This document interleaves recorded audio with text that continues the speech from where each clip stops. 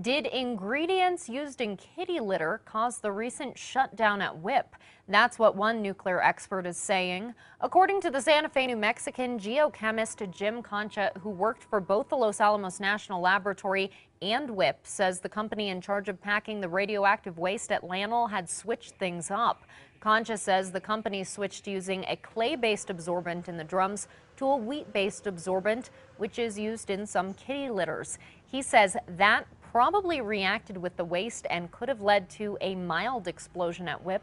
Officials at LANL, the Department of Energy, and WIPP did not specifically comment on the theory.